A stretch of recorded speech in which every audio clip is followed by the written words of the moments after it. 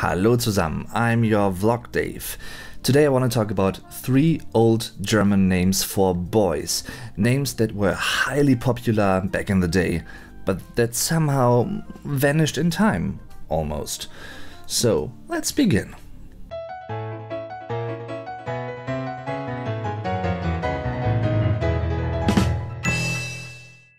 What I think is really interesting about many names is that they basically tell a story and they basically tell of how times were back in the day, which things people dealt with or had to deal with, and how a society was actually structured. In other words, there is more to many names than meets the eye.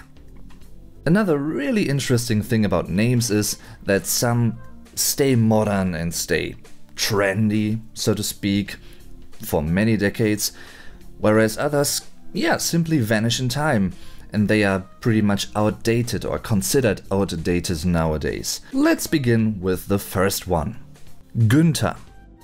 So, Günther is a perfect example for a name, for a boy's name that is considered outdated nowadays. It's not really used for boys anymore. It's highly unlikely.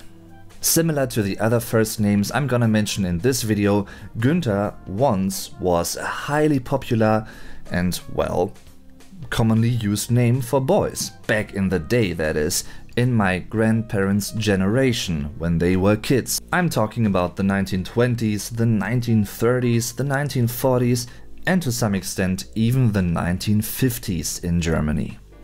But the name itself is even older than that. Many forms of it have been used in medieval times already, in medieval days. Im Mittelalter. Long time ago. So, the name Günther was most popular for German boys during the 1930s. So, the numbers next to the ordinate, meaning the vertical axis, represent the popularity of a name. So, anything that's close to the number 1 is pretty much considered highly popular and everything that's decreasing from there is considered less popular. The numbers under the horizontal x-axis show the timeline, meaning the respective years.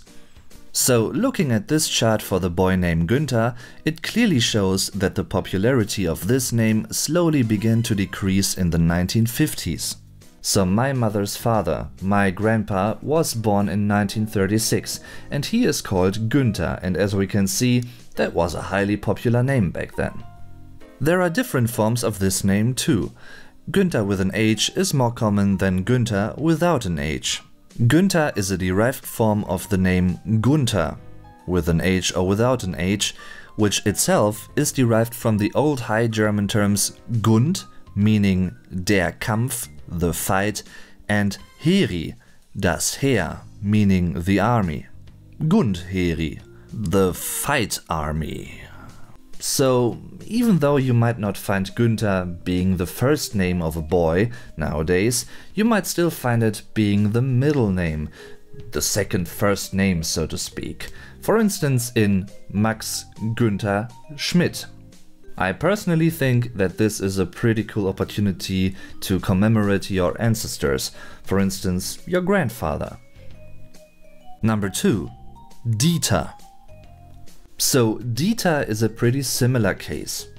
Back in the day, especially in the 1930s and in the 1940s in Germany, Dieter was a highly popular name for boys. For instance, my father's father, my grandfather, my grandpa, was born in 1938 and he was called Dieter.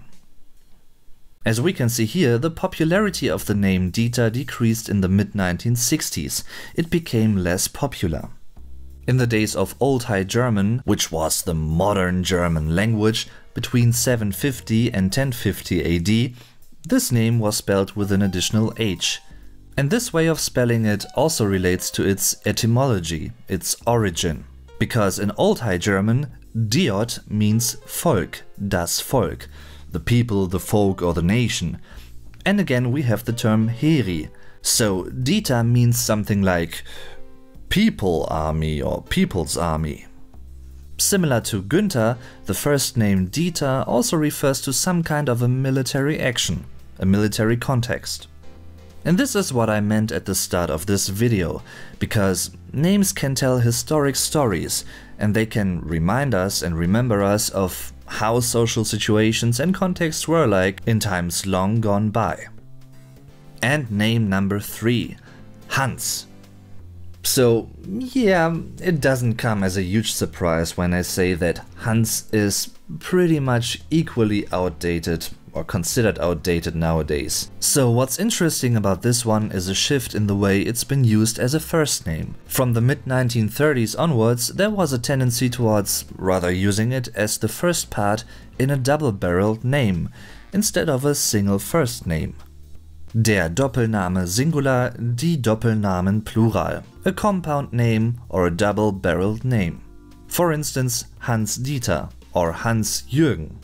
Hans is derived from the name Johannes, which means God is gracious or merciful in Hebrew, which also tells something about religious beliefs many Germans have had in many centuries.